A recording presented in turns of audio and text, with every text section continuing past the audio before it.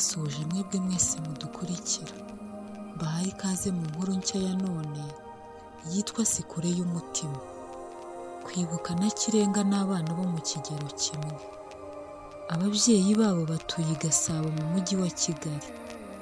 Baraturanye barumvikana baragendana bagasabana muri byose. Iyo mibanire myiza y'ababyeyi ituma kwibuka na kirenga baba bari kumwe kenshi bakina. Batandukana ababyeyi babo bagiye kubitaho babuhagira babagaburira bakanabaryamisha. Kwibuka na kirenga bageze igihe cyo gutangira amashuri y'incuke bize ku kigo kimwe. Mu gitondo bajyanaga ku ishuri ndetse bakicarana ku ntebe. Mu gihe cy'akaruhuko nabwo babaga bari kumwe bakina n'abandi bana. Isaha yo gutaha yagera kwibuka na kirenga bagatahana. Ubwo bucuti bwabo no mu mashuri abanza barabukomeje. Se wa kwibuka yabaga mu bugande kuko yari ahafite ibikorwa by'ubucuruzi.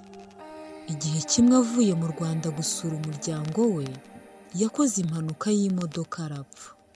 Icyo gihe kwibuka yari arangije umwaka wa kane w'amashuri abanza.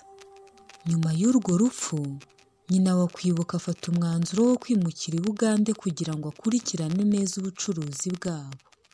Abibwiye abana kwibuka waranga.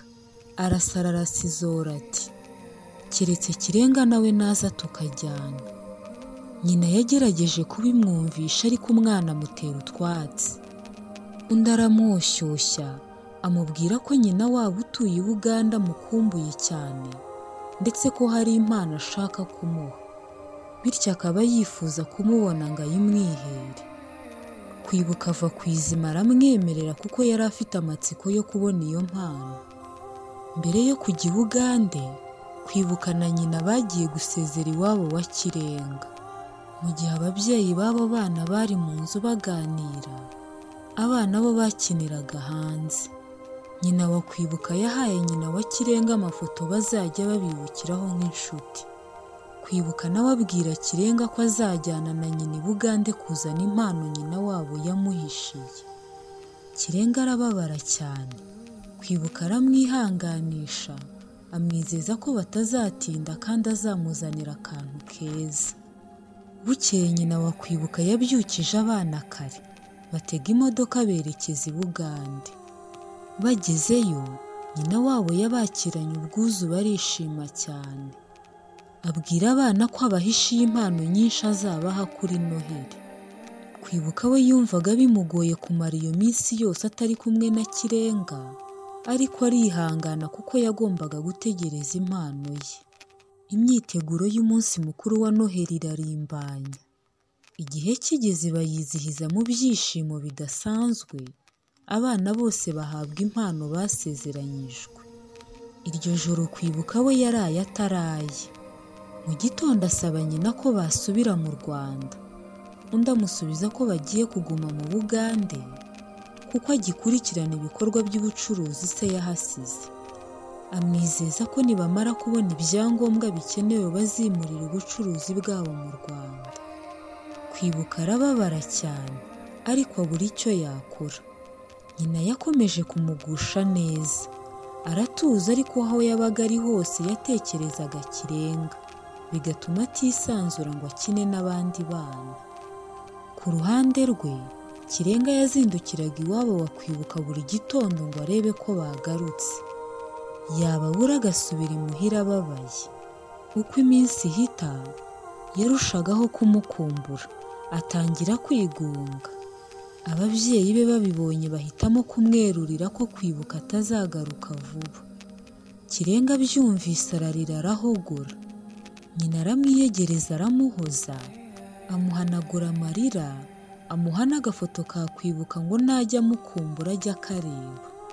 Kirenga akabonye agira akanyamuneza. Aramwenyura ashimira nyina. Mu by'ukuri kirenga kubaho nta kwibuka abona hafi ye byaramugoye ndetse bimugiraho ingaruka mu masomo ye. Aho yabaga ari hose wamusanganaga ka gafoto ka kwibuka. Iwabo bamubuzaga kukajyana ku ishuri kugira ngo katamurangaza ariko rimwe na rimwe akakajyana rwihishwa. Ku ishuri yahoraga yigunze ntakurikire amasomo, bimutera gusubira inyuma mu manota. Abarimu n'ababyeyi be batangira kugira impungenge kuko ubusanzwe yari umuhanga. Kirenga yakomeje gutsindwa mu ishuri, abanyeshuri benshi bamurusha amanota. Abibonye atyo yisubiraho, akora iyo bwabaga yongera kwiga neza aratsinda nka mbere. Bidatinze yatsinze ikizamini cya leta gisoza amashuri abanza, akomeza mu mashuri yisumbuye afite amanota meza. Umunsi umwe Kirenga yari iwabo yicaye mu busitani asubiramo amasomo, afite na ka gafoto ka kwibuka mu ikayi. Nyina amuhamagaye aramwitaba, asiga ikayi mu busitani yinjira mu nzu kureba icyo amuhamagariye. Icyo gihe imvura yari ikubye. Akinjira mu nzu, yumva umuyaga mwinshi urahinduye. Akubita agatima kuri ya kayi, arakubirana asubira hanze kuyanura. Atarayigeraho, umuyaga urayigurukana ka gafoto kavamo gatumbagira mu kirere. Kirenga akirukaho ngo arebe ko kagwa hafi akagatora. Uko yakagiye araramye agwira ingiga y'igiti. Nyina yategereje ko Kirenga amugeraho araheba. Arasohoka arahamagara buri umwitaba. Ajya kumushakira mu busitani aramubura. Akomeje imbere ngo arebe ko yanyarukiye mu baturanyi, abona Kirenga arambaraye hasi ari intere. Nyina ahuruza abaturanyi bamujyana kwa muganga. Baramusuzuma, bapfuka igikomere yari afite mu gahanga, bamuha imiti arataha. Bageze mu rugo Kirenga atekerereza ababyeyi be uko byamugendekeye barumirwa. Batangazwa n'uko Kirenga kizirikana kwibuka bigeze aho, kandi hashize igihe kinini atamubona. Nyuma yo kubura ifoto ya kwibuka Kirenga yarababaye. Yibuka uburyo yamusezeyeho amubwira ko azagaruka vuba, arushaho gushavura kuko nta cyizere cyo kumubona vuba yari afite. Kwibuka nawe aho yari ari ntiyigeze yibagirwa Kirenga. Yahoraga yifuza kujya mu Rwanda kumureba, nyina akamubwira ko bazasubirayo arangije amashuri. Muri icyo kigero cy'ubugimbi n'ubwangavu bwa Kwibuka na Kirenga, buri umwe yumvaga afite icyizere cyo kuzongera guhura n'undi. Ntawigeze ashaka indi nshuti, ahubwo bigaga bashyizeho umwete ngo bazahure buri wese afite aho ageze.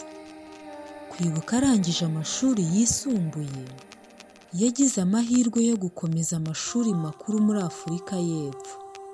Kirenga nawe arangije kwiga ahita abona akazi muri hoteli, kuko yari yarize ishami ry'amahoteli n'ubukerarugendo. Nyuma y'igihe gito, Kirenga yoherezwa mu mahugurwa yo kwimenyereza umwuga muri imwe mu mahoteli akomeye muri Afurika y'Epfo. Iyo hoteli yari hafi y'ishuri Kwibuka yigagamo. Umunsi umwe Kwibuka na bagenzi be bakitse amasomo basohokera kuri iyo hoteli. Bakirwa n'umukobwa w'uburanga wuje ubwitonzi n'urugwiro.